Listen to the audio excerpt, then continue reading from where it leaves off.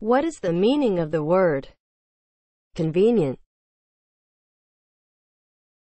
as an adjective suited to your comfort or purpose or needs?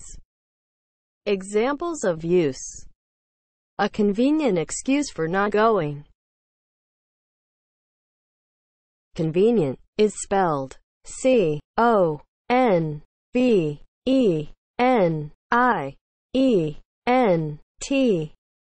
Convenient